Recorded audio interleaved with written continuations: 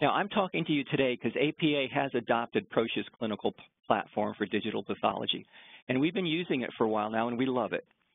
Some of the features of the, of the clinical pathology platform is its accessibility. It's cloud-based, so now I can have my pathologist dial in and look at any image from that's image from our practice as long as they have internet access. So they don't have to come into a central point. They don't have to, it, it can be done from where they sit and work. Very, very powerful. The second is, is, is the IT people, IT people say it's image format agnostic.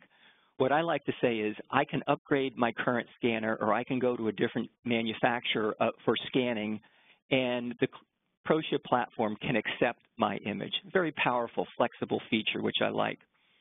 The other thing is LIS interfacing. Now, we talked about for, for digital pathology to become efficient and helpful, we have to interface the flow from the imaging to the reporting back to reporting to our customer, the end user, the clinician.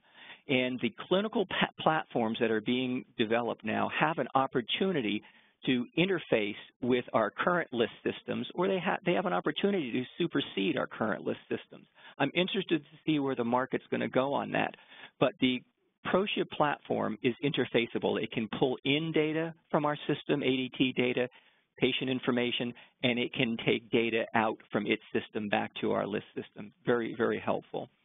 And the last thing is, is it's called real-time telepathology, but I, I liken it to a virtual multi-headed microscope. And in, in our practice and in many others, it's very difficult for us to get seven or eight or 10 or 15 people around a microscope so that we can have an expert talking about a case and everyone seeing this, the same image in their optics or on the screen. And now with digital pathology and with Proscia's platform, we can do that. Very powerful, very powerful. We can upload an image, people can dial in, and we can have someone talking about and manipulating the image, discussing the findings, and everybody sees the same thing. We can also, if, if I'm a referring pathologist and I send in an interesting case and the expert's talking to me about the features, he can he or she can also give me control of the image so I can come back and point out and say, well, what about this area there? It's it's quite powerful and, and very, um, it, it's going to be a very helpful thing to, to our practice.